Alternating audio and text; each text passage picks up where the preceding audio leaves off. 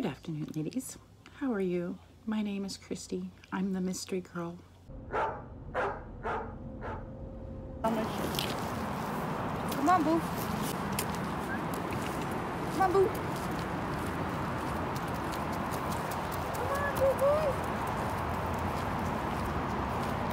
You know what? This is like, this is this is what happens to me when I adopt a dog or rescue a dog. I can take them on off leash and they mind. Isn't that weird?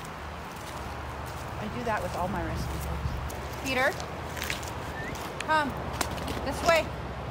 Peter, leave it. Leave it.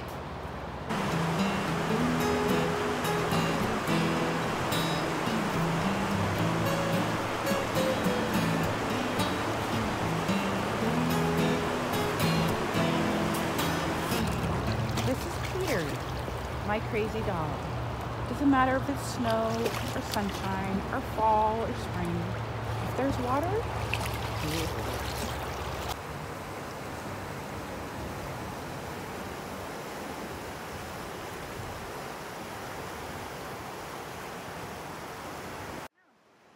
After rescuing Peter and adopting Peter, and then being able to have the opportunity to help out, I just got into rescuing dogs. I just, I have a compassion for them.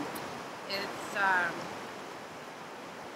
you know, it's kind of like being able to pay it forward without having, um, knowing that you can never get the, the anything in return except for a great pet. You know, you get the, all the unconditional love that you want. Um, don't eat the fish.